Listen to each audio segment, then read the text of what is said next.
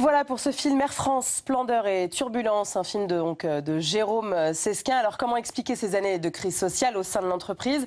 Air France est-elle le symbole des difficultés de la France à s'adapter à la mondialisation? Ou peut-être a-t-on trop dérégulé Que dire dès lors des responsabilités de la tutelle, l'État français? Une tutelle quelque peu schizophrène parfois euh, quand il s'agit de stratégie pardon, industrielle. Pour en débattre, mes invités, Vincent Capot-Canelas, bonjour. bonjour. Vous êtes euh, sénateur UDI, UC de la Seine-Saint-Denis et président du groupe d'études aviation civile ici au Sénat et par ailleurs maire du Bourget. Bienvenue à vous. Euh, à côté de vous, Dominique Riquet, vous êtes député européen, donc groupe ADL, centriste, vice-président de la Commission des Transports et du Tourisme au sein du Parlement européen. Bienvenue.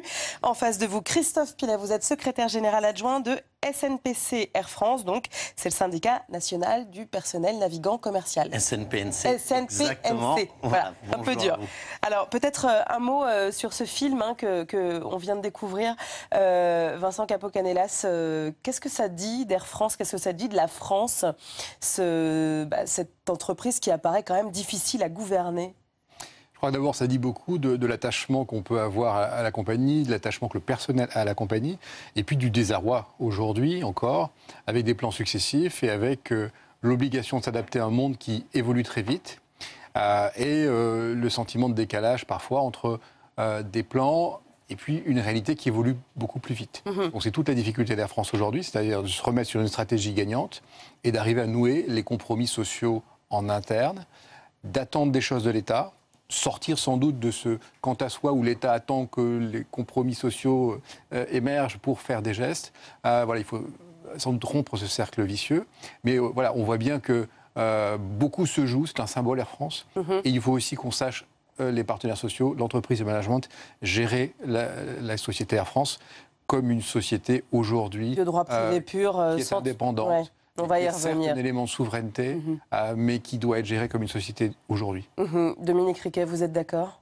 Ah, La France, un vieux pays prestigieux qui a un peu de mal à s'adapter au monde moderne. Et euh, Air France, une des plus vieilles compagnies euh, au monde, prestigieuse et mhm. qui a aussi... création 1933. Voilà, qui a aussi beaucoup de mal à s'adapter au monde. Et je pense que Air France a toujours porté haut les couleurs de la France, mais en l'occurrence, elle continue aussi à porter je dirais, ces handicaps, avec la difficulté à la fois consubstantielle aux Français à s'adapter, et en plus, ça, dans un monde qui bouge alors à toute vitesse, mhm. c'est-à-dire à la fois en volume, en qualité, euh, en dynamisme, et là, c'est très compliqué, parce que à peine a-t-on fini de s'adapter que les choses ont encore changé, et c'est quand même compliqué. Et on a vu, et ça, je crois que c'est un sujet qu'il ne faut pas oublier, c'est que les compagnies nationales sont mortelles. Je rappelle mm. que la Sabena, les Belges sont Bien morts les Suisses sont morts, les Hongrois sont morts, euh, que également les Italiens sont. L'Italia est en passe de mourir, oui. Et que donc, euh, si on veut défendre le pavillon français, il faut que tout le monde s'y On se souvient de l'historique euh, PAM, l'historique américaine, qui nous a accompagné une partie de notre enfance. Christophe Pilet, vous êtes d'accord avec le constat L'entreprise Air France a du mal, au vu de ses handicaps, en fait, à s'adapter à la mondialisation? Je crois que l'entreprise Air France est une ancienne entreprise, hein, comme il a été dit, qui a plus de 80 ans, donc qui a une histoire parfois euh, tumultueuse, mais qui a une belle histoire, un vrai savoir-faire euh, transmis euh, au fil des générations. Et c'est une entreprise qui a quand même su s'adapter il y a quelques années euh, dans un monde euh, aérien et un monde économique euh, d'une manière plus globale qui va de plus en plus vite. Mais en tout cas, en ce qui concerne les salariés de l'entreprise, je crois qu'ils ont su s'adapter, ils ont su faire des efforts, on l'a prouvé encore. Et on sent l'attachement des salariés à leur voilà, entreprise. Il y a toujours un véritable attachement, mais c'est vrai que ces dernières années, après des efforts très importants de la part de tous les personnels, il est un peu difficile d'admettre euh, qu'il faille continuer encore toujours à faire de nouveaux efforts au nom euh, d'une mondialisation qui existe certes, mais euh, de plus en plus prenante. Et c'est vrai que les, les, salariés ne voient pas le bout de ces efforts. On va revenir au début. En 1993, on a la création de l'espace aérien européen, une dérégulation. on a certains qui porte aujourd'hui l'idée qu'on a été peut-être, euh, Dominique Riquet, un peu trop vite dans cette dérégulation et qu'aujourd'hui, à l'heure par exemple où EasyJet ou Ryanair utilisent en fait des boîtes aux lettres en Irlande et euh, font, euh, enfin jouent en fait avec les législations et les législations différentes au niveau européen, qu'on aurait peut-être été un peu trop loin. Est-ce que vous êtes d'accord? Ah, plusieurs remarques là quand même. Je pense qu'on n'a pas beaucoup dérégulé en ce qui concerne l'aérien spécifiquement. Et qu'au contraire, on a une grande difficulté à faire un ciel unique européen qui est un critère de compétitivité pour toutes les compagnies européennes. Mais qu'il y a dans des aspects de droit du travail qui s'appliquent euh, aux compagnies aériennes, il y a là des problèmes de régulation à affiner. Mais le gros problème, c'est que l'Europe, elle défend beaucoup, en fait, ces compagnies. Premièrement, en empêchant le contrôle par des capitaux étrangers au-delà de 49%, elle préserve le caractère spécifiquement européen des compagnies, elle discute des, accords euh, commerciaux globaux, bilatéraux, elle essaye aussi de faire en sorte qu'elle simplifie un certain nombre de règlements techniques, entre guillemets. L'Europe, elle a été un facteur de progrès très important. Il y a des effets collatéraux, qui ont été effectivement un peu pernicieux, mais comme mhm. toujours, hein, le législateur a toujours des effets inconnus. Et la, dernière chose que je voudrais dire là-dessus, c'est que les problèmes qu'on a actuellement sont plutôt des problèmes qui tiennent à l'obstacle à l'unification du ciel unique européen. Ça veut dire que la régulation, entre guillemets, de la circulation aérienne se fait sans qu'il y ait euh, d'étapes techniques successives trop complexes. Alors on voit qu'il y a une concurrence accrue, notamment des compagnies du Golfe qui sont, et je pense notamment à Emirates, qui est passé en première euh, mondiale euh, sur les compagnies aériennes. Il y a l'île low cost dans l'autre sens qui, qui mange aussi des parts de marché. Diriez-vous, Christophe Filet, que ces enjeux, en fait, les directions successives d'Air France n'ont pas su les voir à temps? Je crois qu'on a réagi à un certain nombre d'enjeux. On a euh, réussi à faire 220 millions d'euros d'économies en 2015, euh, que le personnel a su s'adapter et a su faire face aux enjeux. Il y a eu également des renouvellements de produits, des renouvellements euh, de fauteuils, des renouvellements. Tout il y a eu des investissements. D'innovation, il y a eu des investissements. On a su s'adapter et également. Alors le problème vient de quoi? Si les si, les salariés ont pu s'adapter, si les investissements ont eu lieu, c'est quoi? C'est euh, les directions successives qui n'ont pas vu en fait ces enjeux. Quand on voit qu'il y a un des, dirigeants qui dit que le low cost il n'y a jamais cru, euh, c'était ça aussi l'erreur? Je, crois que en fait euh, c'est la succession de nouveaux plans et du manque de stratégie, la mhm. succession aussi de, dirigeants avec euh, des idées différentes et qui ne sont pas euh, menées au bout. Et peut-être d'erreurs aussi. Je vais prendre pour un exemple très récent, rien que sur le projet Boost. On sait très bien qu'il suffirait au sein d'Air France de recruter du nouveau personnel navigant commercial plus jeune qui à l'entrée à Air France est rémunéré 45% moins cher euh, qu'une hôtesse ou un steward en fin de carrière. On n'a pas recruté euh, depuis euh, maintenant environ 8 ans. donc ça permettrait de donner un souffle et de renouveler mhm. la génération actuelle et de repartir avec des, gains de productivité au sein d'Air France et pas au sein d'une nouvelle compagnie qui ne produira pas forcément ses effets économiquement. Mhm. Dominique Riquet. Oui, alors il y a les efforts que font les personnels, que fait la direction, enfin que fait la compagnie, mais la pression extérieure, elle augmente aussi toujours. C'est-à-dire que il n'y a pas des efforts à partir d'une ligne plate. C'est-à-dire qu'au contraire, la ligne continue de monter. On a évoqué tout à l'heure les compagnies du Golfe. Bon, l'Europe actuellement est en train de lancer, enfin, lancer des négociations difficiles avec les compagnies du Golfe qui profitent de leur situation géographique, mais on estime qu'il y a 40 milliards, 40 milliards mhm. d'aides indues, entre guillemets, à ces compagnies euh, qui faussent totalement. Non mais pardon, Dominique Riquet, Air France ayant été une compagnie française, elle a été aussi subventionnée par, euh, par, l'État français au même titre que Emirates est subventionné par l'État. Euh, non. Bah, ah non, ah, pas oui, du tout. Où est la différence Ah non, non, mais pas du tout. Je, vais vous prendre un exemple. C'est une question de béotienne. Où est la différence bah, La différence, par exemple, c'est qu'Etiad euh, avait des avions en leasing pour, euh, euh, avec une compagnie de leasing qui était détenue par l'État, par l'État, et que cet État vient de céder l'ensemble des avions à la compagnie pour zéro dollar. Mhm que deuxièmement, il y a une détaxe des carburants, que troisièmement, les taxes de, de posée sont absolument ridicules, que quatrièmement, il y a des prêts sans intérêt qui se transforment en dons. Mhm. Donc là, on n'est pas du tout dans le cadre d'une économie libre et non faussée. Ah, pas du tout. Et mhm. d'ailleurs, c'est la raison pour laquelle actuellement, il y a des débats très difficiles avec les compagnies du Golfe, parce qu'on estime que les conditions euh, de, C'est plus facile d'être compétitif dans ces conditions-là. Ah ben, voilà, en plus, mhm donc compris le fait que, évidemment, les personnels, charge sociale zéro. Je veux dire, si vous prenez euh, un personnel d'Air France, en moyenne, vous allez avoir sur 100 de charges, sur 100 de salaires, vous aurez environ 146 chargés totalement. 106 quand vous êtes sur Emirates. Ouais, la différence, c'est quasiment 50%. Les salariés vont pas pouvoir s'adapter euh, au fur et à mesure pour arriver en fait à concurrencer les salariés du c'est Vincent Capocanelas. hein. Oui, alors, il y a plusieurs sujets qui, qui s'empilent. On a d'abord une réalité, c'est que Air France s'adapte. Air France a fait des efforts colossaux. Mhm. Il y a une montée Elle en gamme. renoue avec les Il y a un bénéfices. travail sur le produit. Euh, la nouvelle équipe avec euh, Jean-Marc Janaillac euh, essaye de retisser les liens de dialogue euh, et de remettre la compagnie sur la bonne, bonne stratégie. Et je pense qu'on peut euh, être relativement confiant à supposer qu'on passe un certain nombre d'étapes dans le dialogue social euh, qui, sont, majeures. Euh, après, évidemment, euh, la France a un problème de coût du travail. La France a un problème de compétitivité globalement. Alors on va voir, ces questions-là ont été posées, on parle de réforme du marché du travail, il y a les- des sujets sur des détournements de procédures, sur le travail détaché qui est utilisé par certaines compagnies.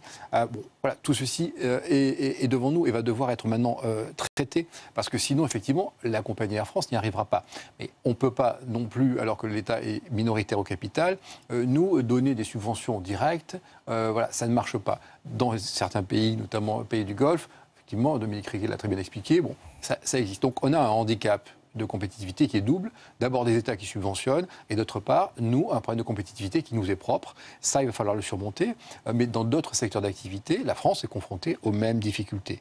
Simplement, dans le transport aérien, on est sans doute plus exposé. Alors, on a des qualités quand même. C'est la situation géographique de, de la France, euh, là, pour un certain nombre euh, de vols, de desserts.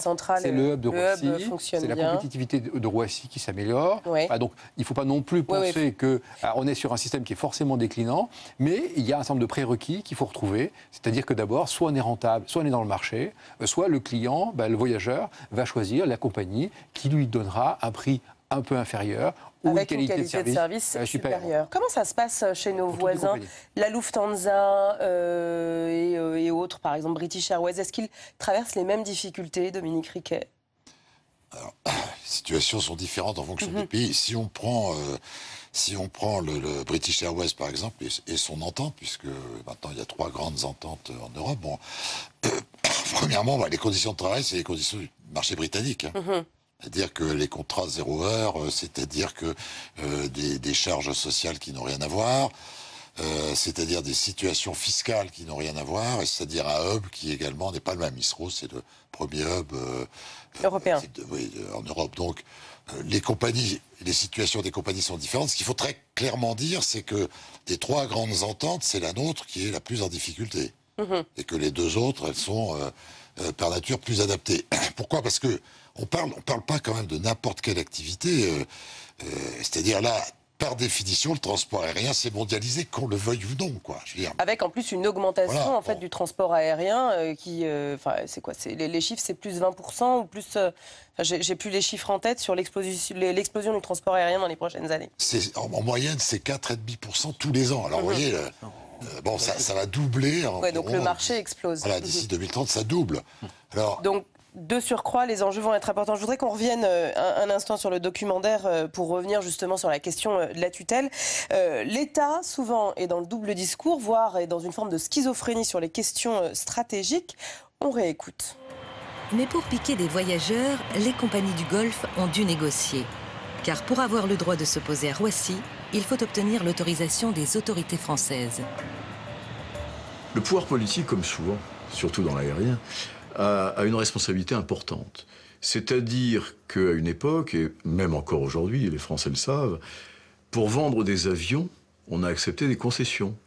Donc pour vendre des Airbus à Emirates, on a donné des créneaux à Emirates. Alors, euh, question euh, légèrement provocatrice, Christophe Pilet. Est-ce que euh, le premier ennemi pour une entreprise en fait qui est dont l'État est actionnaire, c'est l'État? On voit bien que là, il y a une stratégie pas très compréhensible. Bah, ennemi et en même temps euh, partenaire Mhm. euh, à la hauteur euh, dont l'État détient des, des parts d'Air France. Pour rebondir à ce que vous disiez tout à l'heure, Monsieur le Sénateur, effectivement, l'État ne peut pas subventionner comme peut-être ça a été fait il y a très longtemps. Mais de là à sacrifier entre guillemets Air France pour Airbus hein. peut en revanche moins taxer Air France. Et on voit qu'effectivement, il y a des marchés à côté, euh, tout aussi important, euh, quand il y a Airbus euh, en jeu ou quand on vend des avions Rafale. voilà, il y a aussi des enjeux qui permettent. Il y a des arbitrages en fait. Des arbitrages à faire, économiques aussi, et que souvent Air France empathie, puisque un certain nombre de créneaux horaires sont donnés parfois à la concurrence, même si effectivement ce n'est pas autant qu'on pourrait voir dans certains pays. en revanche, Air France est, une, entreprise historique de la France. C'est une marque quand même, c'est la seule marque portant euh, uniquement le nom mhm. de la France, donc euh, c'est très symbolique. L'État actionnaire, c'est un garant ou c'est potentiellement un boulet au pied pour ces entreprises publiques? Enfin, publiques qui deviennent, qui sont, qui sont privatisées L'État assume plusieurs fonctions. Mhm. il, est aussi régulateur. C'est vrai qu'on peut s'interroger parce qu'il est soutien à l'industrie également. Voilà, donc ce qu'il faut, c'est que euh, les choses soient bien, soient bien cantonnées. Euh, et, évidemment, l'État a un intérêt à ce que sa compagnie nationale, sa compagnie sur le marché domestique soit la plus forte possible. Évidemment, c'est un sujet de souveraineté, euh, parce que soit la France rayonne, a, les moyens dans le monde entier d'assurer sa présence et la flotte aérienne est un moyen considérable pour ça, un moyen d'influence politique pour nous. Donc voilà, donc il faut aider la compagnie on peut s'interroger, c'est parfois tabou, de se dire est-ce que la meilleure façon d'aider Air France, c'est de rester au capital mhm. Voilà, bon. Qui représente euh, maintenant 17% à peu près. Mhm. Aujourd'hui, ça entretient aussi une forme de schizophrénie dans, l'entreprise. C'est-à-dire que l'État est présent, mais n'aide pas réellement. Euh, et peut-être que si l'État était moins présent, euh, il, aiderait, il aiderait plus. En tout cas, il y aurait plus cette fiction que l'État est grand-papa qui va aider. Ça, ça marche plus. Ça, mhm. déjà. Dominique Riquet. Moi, je, personnellement, je pense que il y a un enjeu de souveraineté, il doit y avoir une capacité pour l'État de donner son sentiment et, de considérer que c'est un enjeu national. Pour autant, l'État, c'est le plus mauvais opérateur économique que l'on connaisse. Bon, pour deux raisons. D'abord parce que ça change au gré des alternances politiques, mhm. que rien n'est pire pour une compagnie, que deuxièmement, l'État n'a plus les moyens alors. Il n'a plus les moyens juridiques de soutenir, parce que c'est pas possible pour des raisons de conformité. Euh, au droit européen notamment. Euh, ah, mhm la concurrence en général, aussi au niveau international, pas seulement européen, et que l'État n'est même plus un opérateur direct des négociations des accords euh, aériens. Donc en réalité, euh, l'État, euh, il est progressivement été marginalisé, tout en étant toujours une espèce de responsable médiatique de tout ça, vers lequel en dernier ressort les, personnels se tournent parce que c'est un réflexe français, on, est là dans une position qui est totalement déséquilibrée. Moi, je pense qu'on devrait clairement poser des enjeux de souveraineté et l'État dire ce qu'il pense de ça. Euh, probablement qu'à terme, il se retirera des, des enjeux économiques. Vous voyez bien ce qui se passe en Italie actuellement. L'État, il est en train de fermer le banc. Je pense que cette mhm. compagnie va être, euh, va être dissoute après 10 euh, ans de psychodrame et 9 milliards ou 8 milliards euh, d'euros de subventions perdues. Je voudrais, pour clôturer, revenir sur cet épisode hein, qui ouvre ce documentaire et qui le referme. on se souvient en fait de l'émoi et, de la manière dont on a tous été choqués par cette chemise déchirée des deux cadres d'Air France et justement la tutelle qui a été, une fois de plus, été appelée à la rescousse. On se souvient des mots très forts de Manuel Valls qui a parlé des salariés comme des, de voyous. Est-ce qu'on est sorti de cet épisode ou pas Je crois que ça a été un tournant dans l'entreprise, cet épisode, qui a démontré qu'il y avait un réel problème mhm. de dialogue social. On avait pour coutume de dire que Air France, finalement, euh, c'était une entreprise euh, privilégiée, où tout se passait bien. On était resté encore il y a des années. Euh, ça faisait un moment qu'on dénonçait les, les, méthodes de dialogue social, qu'on n'avançait plus.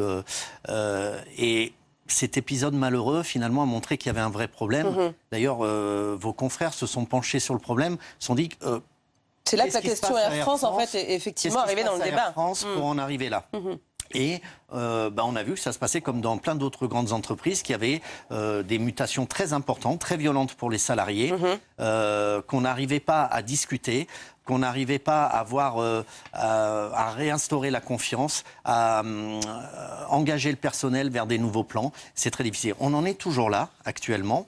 Euh, le dialogue, il ne suffit pas de décréter qu'on rétablit le dialogue social. Il faut le décider, il faut le prouver. Et pour l'instant, c'est vrai qu'on a eu des démonstrations un peu sur la forme, mais pas encore sur le, sur le fond. Le chemin est hélas encore, Un, peu long avant de rétablir une véritable confiance. Eh ben, écoutez, euh, on suivra hein, ce chemin. Euh, pour prolonger euh, un ouvrage, Transport aérien, une profession au bord de la crise de nerfs, par Jean-Louis Barrault aux éditions l'archipel. Merci à vous de nous avoir accompagnés pour ce débat. Tout de suite, c'est votre second film, Retour sur les bancs de l'école. Au début du siècle dernier, conscient des limites du système scolaire de l'époque, de nombreux pédagogues vont se lancer dans l'expérimentation des pédagogies dites alternatives, Montessori, Freinet, Nil. Les tentatives sont nombreuses. Quand l'utopie faisait école, c'est un film de Johanna Gruzinska. À tout à l'heure.